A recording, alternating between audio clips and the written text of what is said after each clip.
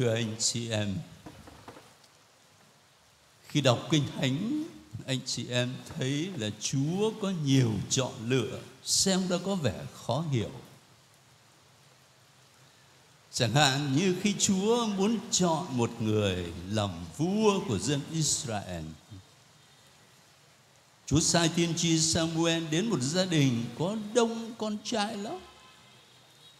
Nhưng mà Chúa lại không chọn những anh lớn cao lớn đẹp đẽ, có kinh nghiệm. Mà Chúa lại chọn những đứa con út, nó đang đi chăn chiên ngoài đồng, phải gọi nó về. Nó là David. Rồi Chúa muốn chọn một người lãnh đạo giáo hội công giáo của chúng ta. Chúa lại đi chọn ông Thánh Phêrô là cái ông mà chối thầy ba lần. Rồi khi Chúa chọn một người để giao cho cái nhiệm vụ rất lớn là đi rao giảng tin mừng cho dân ngoại thì Chúa lại chọn ông Thánh Phaolô là cái ông mà nổi tiếng về đi bắt bớ hội thánh, bắt bớ những người tin Chúa. Lạ lùng vậy. Đức Giáo Hoàng Benedicto trong một bài giảng Ngài nói rằng Chúa liều quá Chúa giao giáo hội cho những người như vậy thì quả là Chúa liều quá những chọn lựa rất là khó hiểu các bài đọc kinh thánh hôm nay cũng nói với chúng ta như vậy Chúa chọn một dân làm dân riêng của Ngài mà Chúa lại chọn Israel. Mà Israel đâu có phải là một dân tộc lớn vào thời bây giờ. Phải nói tới Ai Cập chẳng hạn, chứ còn Israel là nhỏ chút xíu à. Và trong bài tin mừng thì Chúa Giêsu kêu lên là lạy cha, con chúc tụng cha. Vì cha đã giấu không cho những người khôn ngoan thông thái biết những điều ấy mà cha lại mặc khải cho những kẻ bé bọn. Anh chị em nhớ lại coi các thánh tông đồ của chúng ta vào thời bây giờ so với bao nhiêu người khác thì có phải là kẻ bé mọn không? Chỉ là những người thuyền trai bình dân, ít học. Vậy mà chúa lại chọn và chúa mặc khải cho những người bé mọn. Chúa trao trách nhiệm hết sức là nặng nề. Cho nên khi đọc kinh thánh mình thấy rất rõ cái chọn lựa của thiên chúa, xem nó có vẻ khó hiểu. Vậy tại sao Chúa lại làm như thế? Chắc là phải có nhiều lý do nhưng mà lý do nổi bật nhất là chính qua sự chọn lựa như vậy chúng ta mới thấy rõ tình thương vô điều kiện của thiên chúa dành cho chúng ta Tình thương vô điều kiện có nghĩa là Chúa thương chúng ta không phải là vì mình giàu có, không phải là vì mình tài năng, không phải là vì mình làm được cái này cái kia. Chúa không cần.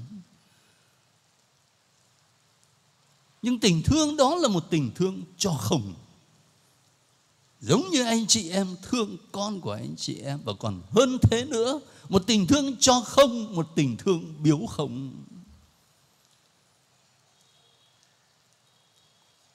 Và đó chính là sứ điệp mà việc tôn sùng, phát tạ thánh tâm Chúa Giêsu muốn làm nổi bật lên trong lịch sử hội thánh, cái phong trào phạt tạ thánh tâm Chúa Giêsu này là một phong trào đạo đức như thể để đi ngược lại với một quan niệm, với một chủ trương, với một lối sống thời bấy giờ. Người ta nhắc đến một vị giám mục tên là Giang Senius.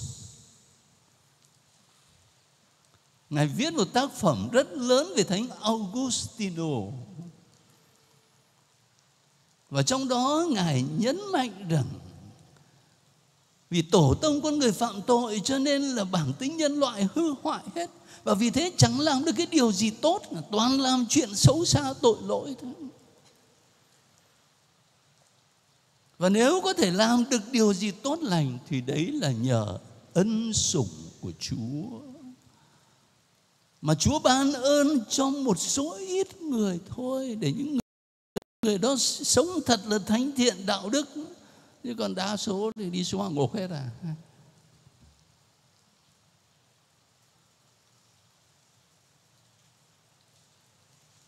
Tôi không biết là ngài nghĩ làm sao nhưng mà có thể là nhiều người nghĩ rằng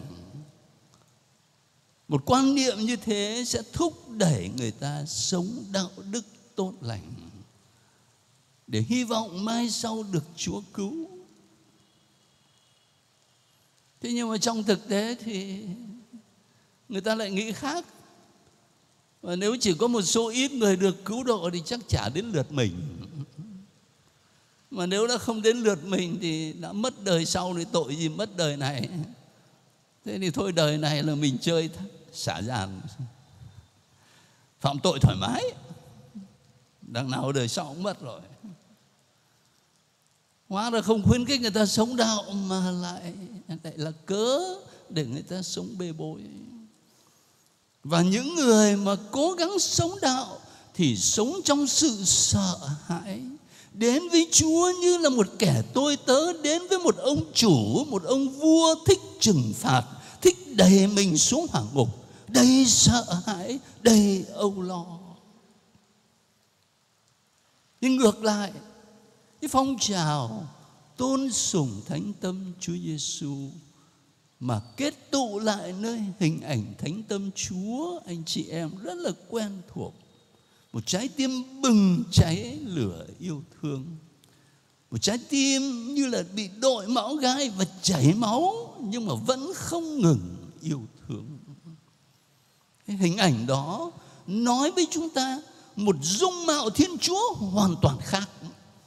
Không phải là một ông vua thích trừng phạt để ta xuống hỏa ngục, mà thiên chúa là một người cha đầy tình thương, giàu lòng thương xót.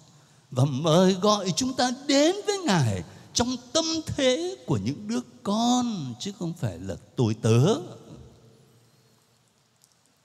Sống tình thảo hiếu với cha trên trời. Chúa muốn chúng ta sống trong cái tâm thế, trong tư cách của những người con chứ không phải là tôi tớ. Và khi đến với Chúa bằng tình thương như vậy, anh chị em muốn con cái của anh chị em đến với anh chị em như thế nào? Lúc nào nó cũng nhìn anh chị em như quan tòa rồi nó xa tránh anh chị em hay là anh chị em muốn con cái mình nó thương mình nó đến với mình, nó tâm sự, nó chia sẻ, nó nỉ non với mình. Và anh chị em hết lòng yêu thương nó. Chúa muốn chúng ta đến với Chúa như vậy. Và khi đến với Chúa bằng tâm thế của những đứa con thảo hiếu, thì mình cũng biết đến với nhau bằng tâm tình mà Chúa Giêsu kêu gọi các con hãy học với ta, vì ta hiền lành và khiêm nhường trong tâm hồn hiền lành và khiêm nhường anh chị em theo dõi tin tức trên thế giới thì chắc cũng biết là ở bên Mỹ tuần vừa rồi, không những là khổ sở vì đại dịch Covid-19 mà lại còn thêm những cuộc bạo loạn nữa.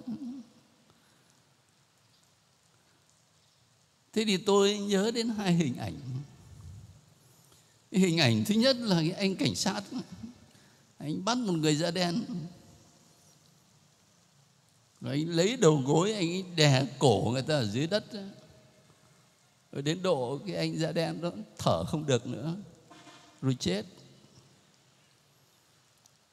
Cái hình ảnh đó nó được phát tán ở trên mạng xã hội và nó tạo nên cả một cuộc bạo loạn không chỉ là biểu tình để phản đối, mà là cả bạo loạn. Và cái hình ảnh thứ hai cũng lại là quỳ gối. Nhưng mà không phải là quỳ gối để đè lên cổ người ta, mà là rất nhiều cảnh sát đối diện với những người dân đi biểu tình thì họ quỳ gối và cúi đầu một cái cử chỉ bày tỏ sự xin lỗi, sự đồng cảm, sự khiêm tốn, sự hiền hòa. Và chính cái hình ảnh đó, nó hóa giải bạo lực, nó đem lại bình an.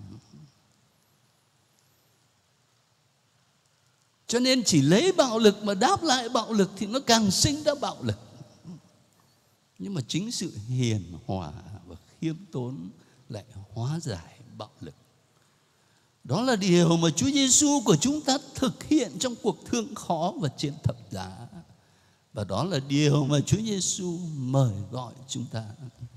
Hãy học cùng ta vì ta hiền hậu và khiêm nhường trong lòng.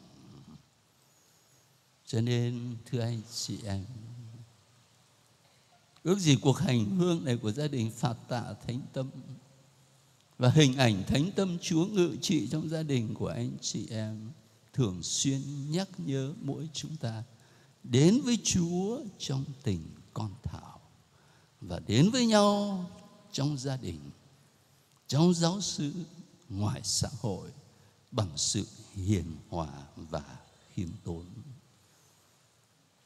Và lời cầu nguyện mà chúng ta thầm thỉ hàng ngày với thánh tâm Chúa phải là lạy Chúa Giêsu xin uốn lòng chúng con giống như trái tim Chúa. Amen.